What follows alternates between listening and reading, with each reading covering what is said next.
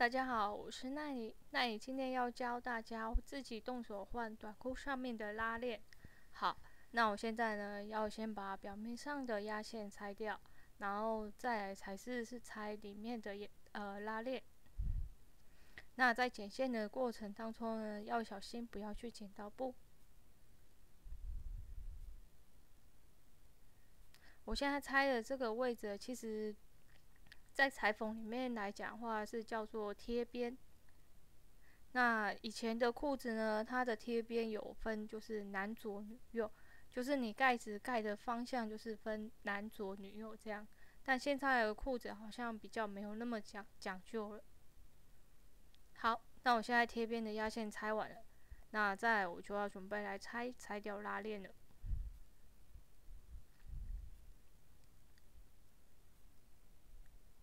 这边的拉链比较好拆。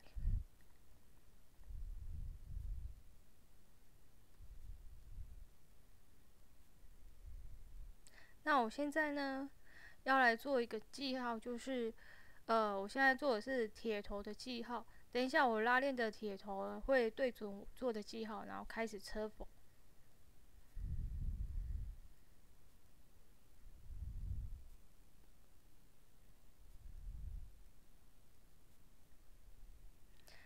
这边拉链拆完之后，再换拆另外一边的拉链。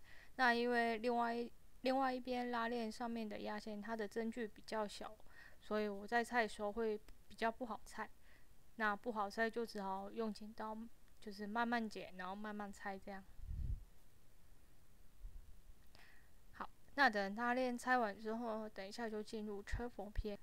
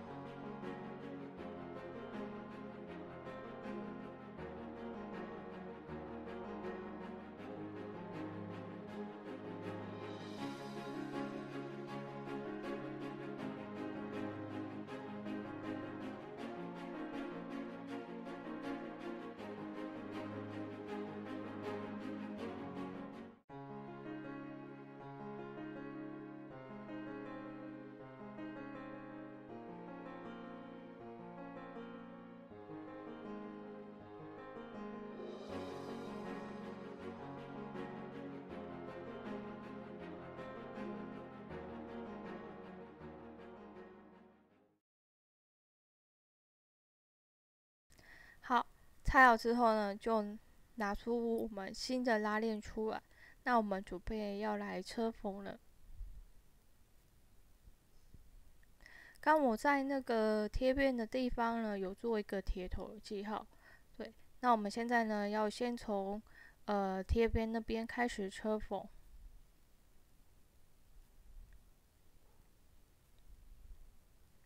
好。那我现在呢，要拿出我的那个记号笔。好，我刚刚在铁头那里做了记号，我再把它画清楚一点。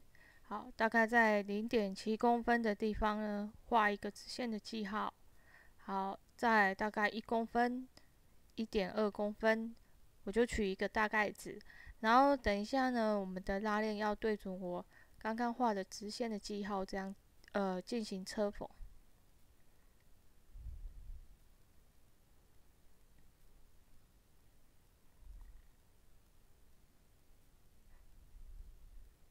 好，那现在拉链铁头呢，对准我的记号。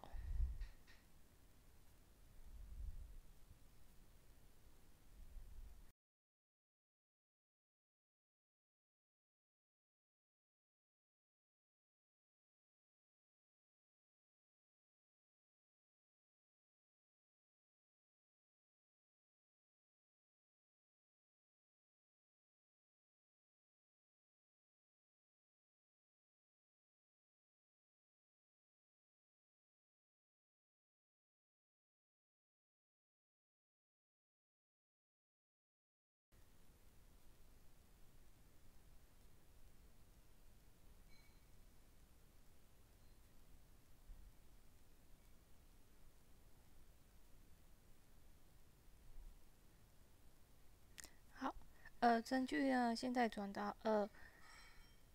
好，那我现在呢要来车缝了。那车这边的那个拉链，起身我没有倒针，因为等一下我会就是会车缝两次。我现在是先车第第一次的车线。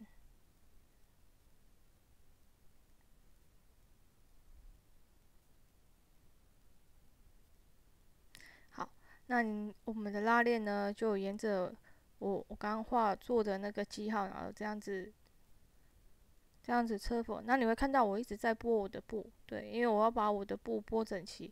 记得那个拉链是要车在贴边上面，然后不要去车到我们的裤子。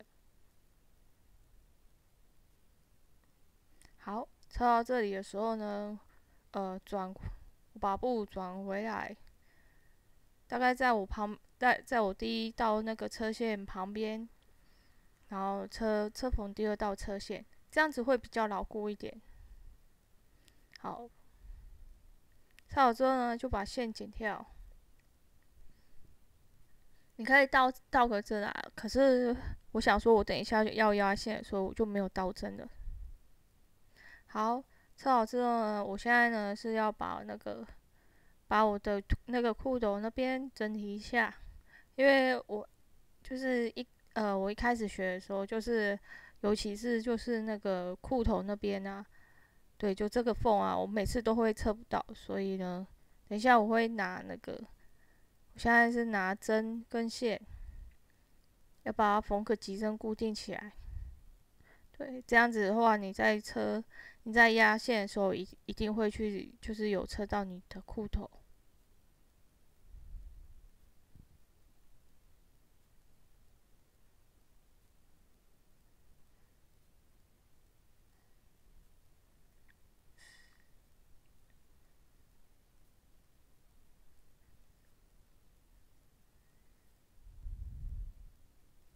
好了之后呢，就把裤子翻回翻回正面。等一下我我要来准备车那个贴边上面的那个压线的。好，那要车压线的时候呢，另外一边没有车的那个拉链呢，它的尾端尾端的那一块布呢，要把它呃向上折。对你现在看到，我现在拿这个珠针是固定好我的布而已。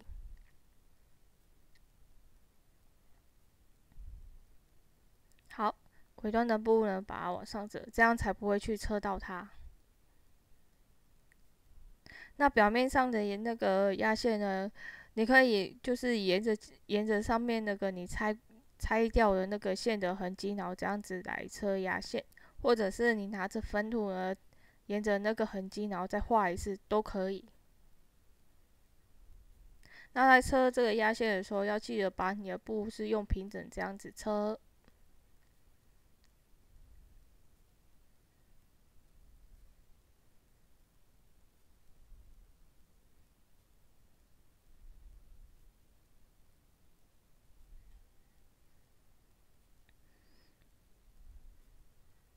好，我现在呃压线呢，快要快要到我的那个裤头的地方了。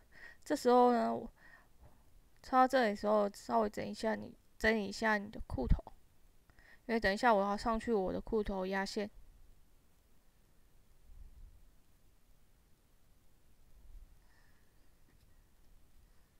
因为刚刚我们在拆拉链的过程中，就是有把裤头的那个侧缝线也一起拆掉，所以要上来要车呃要车到裤头上面，然后做个压线。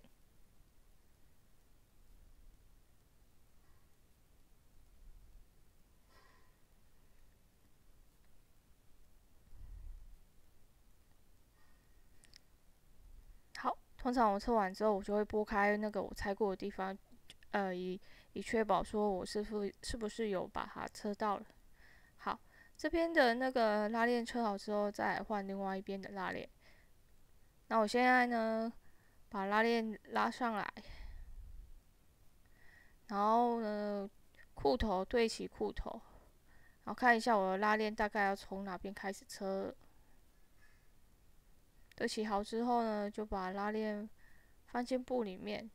这边的裤头，到时候车的时候也要把也要车压线把它固定住，对。因为我习惯就是整条拉链都，就是整条拉链都拆下来这样子测，对。然后我也有看过有人就是，呃，他拉链测到那个尾端的时候，他直接直接把拉链剪剪掉这样子。这呃，如果你是直接把拉链剪掉的话，这样子，呃，你不会去拆到你的裤头线，你也不用多一道说裤头要要要再去车压线固定这样。对，就是看你自己的。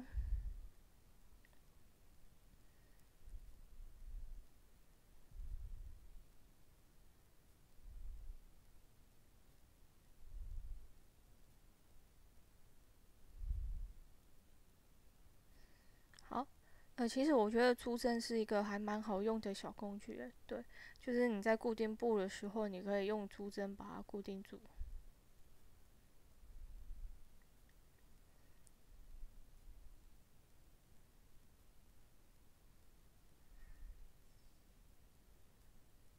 好，现在我呢要先从裤头上面先车压线固定。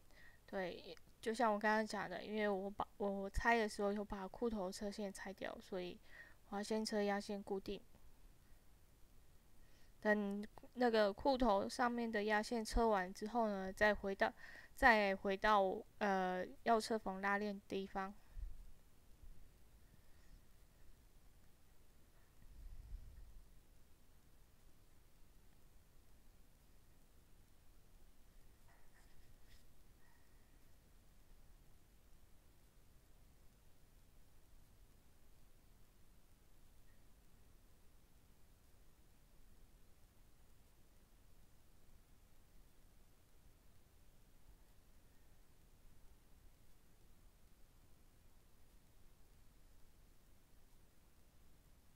好，那我现在是回到我要车拉链的地方。你会看到我一直在把我的布拨拨平整。那我在测的时候也一直在注意我的布它是不是平整的，因为我曾经就是测这一边拉链的时候，测到后来的时候发现我的布，呃，就是多了一小块布，然后它凸出来这样子。对，所以你在测的时候过程当中，你一定要把你的布。就是把它拨的平整这样子，不要让它有就是起皱褶或是怎样。对，尤其是车到现，我现在要车到尾端了，尤其是车到最尾端的地方，很容易会出现多余的布的情况。